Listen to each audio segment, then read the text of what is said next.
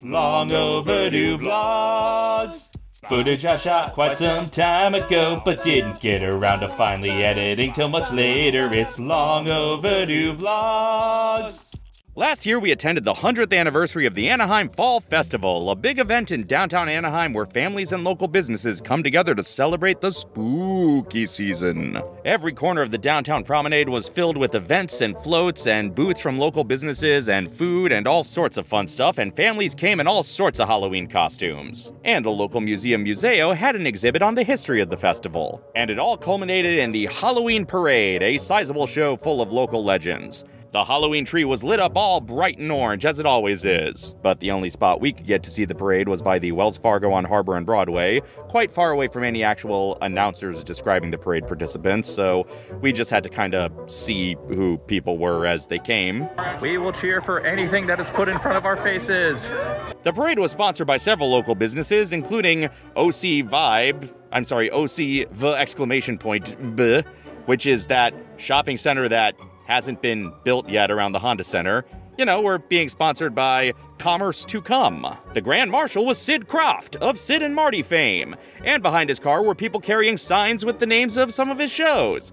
I guess nobody wanted to splurge on having an HR Pufnstuf costume to walk with him, but still cool to see a legend. And then there were just so many participants. There was a Fran vehicle in costume. Fran is free rides around the neighborhood, a tram around downtown Anaheim, and it was dressed up as a Frankenstein. There was King Kukulele, who I think is legally required to show up at every fun, somewhat kitschy SoCal event. There were various school marching bands and cheer squads.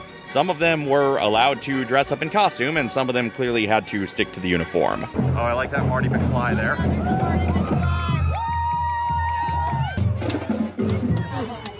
We are definitely getting uh, the fewest bands actually playing as Yeah. they walk past us. Starting Yeah.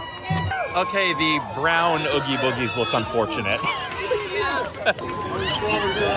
All right, gang, this is my bus.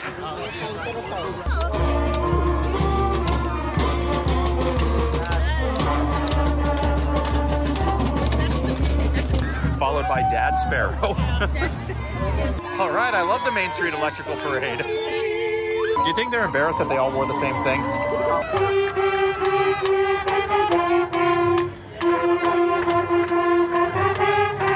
Unlimited you.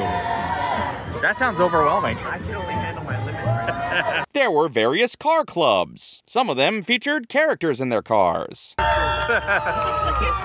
He's on the phone and he doesn't have his headlights on, and his car is being pushed. I think. Oh, that's a good Sally.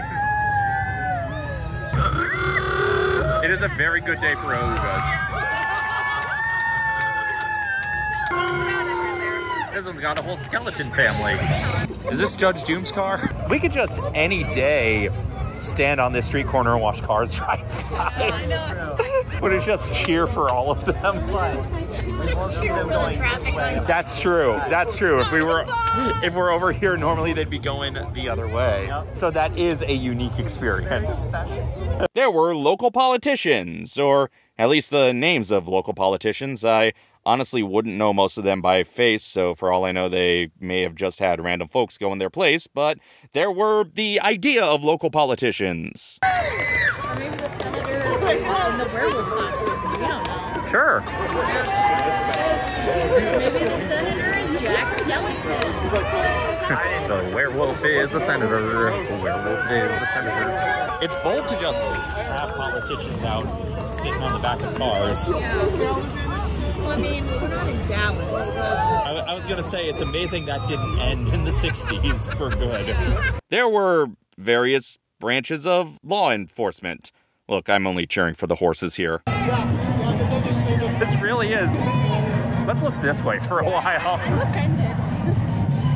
And there were oh so many instances where we got to hear Thriller. Man, these skeletons know how to party.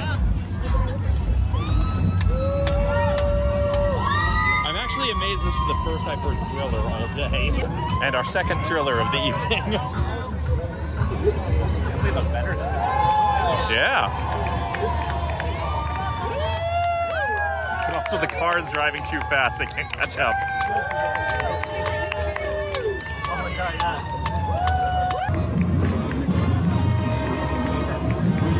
Third thriller. Thriller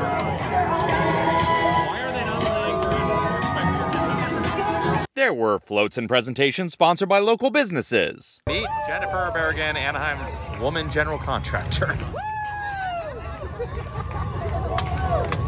We only get one. We're only allowed one. She said. A lot of signs telling me to meet Jennifer Berrigan.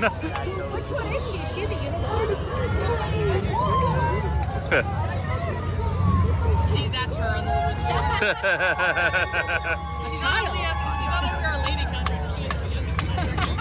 Where are we supposed to meet her? She's the spider. And there were businesses that aren't quite local exclusively, but they have a strong local presence. I'm guessing those lanterns were supposed to be hanging to look like oranges. Even a car from that park up the road made an appearance. Minnie was riding on the back of it. I guess Mickey can't be bothered to show up to a parade that's not all about him. And of course, there were the Anaheim Halloween Parade original floats. We saw them around the promenade throughout the day and didn't realize they were the actual same floats that we would see in the parade itself, some of which had fun folks on them, like the Bob Baker marionettes, also required to be at every fun, kitschy SoCal event.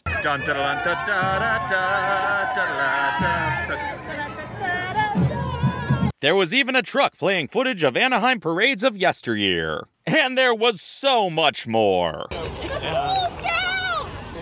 Okay, that's good. That's good. Here's the other Girl Scouts! That's a good winner right there. They, they got more costumes, but not the good pun name. A tractor full of witches.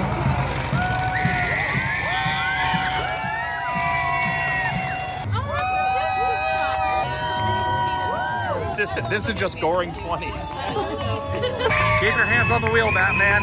10 and 2. Show's over, go home. I will say, we are getting our money's worth out of this free parade. Like, Yeah, like, there is a lot of parade.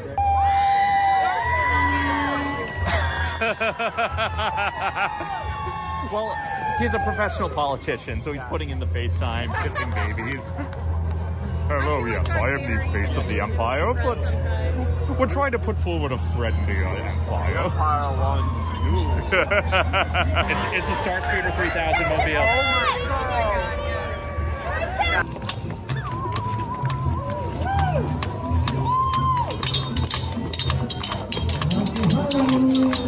Oh Let's not start trying that in the kitchen.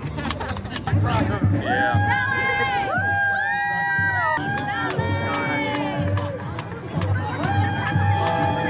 This is like the only Christmas encroaching on a Halloween parade we accept. The guy's on the cover of the Dead Kennedys.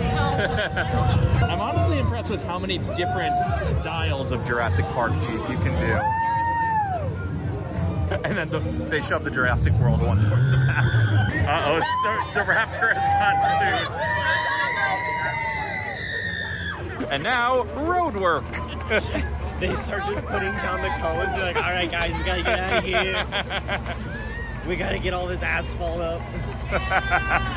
We actually scheduled construction for the same night. It was poor planning, but what you gonna do? Once it's in the books, there's nothing we can do about it.